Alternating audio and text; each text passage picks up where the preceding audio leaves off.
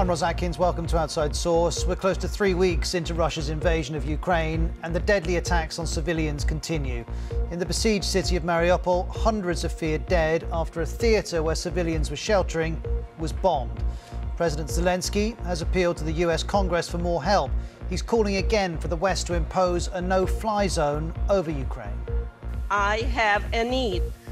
I need to protect uh, our sky. I need your decision, your help, which means exactly the same, the same you feel when you hear the words, I have a dream. President Biden, meanwhile, has approved another $800 million of military support for Ukraine. He says President Putin's military offensive must be stopped. That's our goal. Make Putin pay the price, weaken his position, while strengthening the hand of the Ukrainians on the battlefield and at the negotiating table. And after years detained in Iran, Nazanin Zaghari Ratcliffe has arrived in Oman. She's on her way back home to the UK.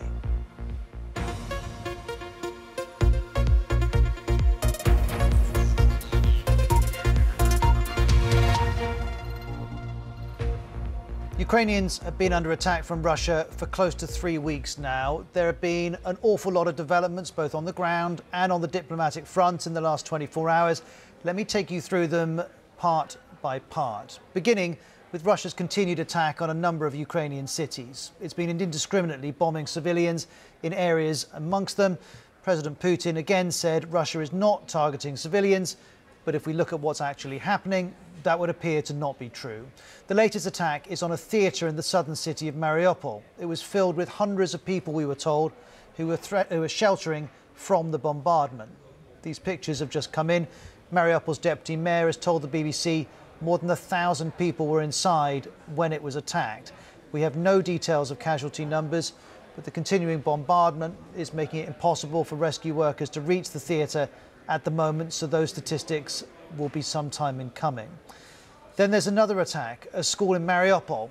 The city is under siege, it's surrounded. There is continuous shelling, which is why those rescue workers can't reach the theatre. Nearly one and a half thousand people have already died there, and we know there are now two mass graves in the city. You can see them marked on the map.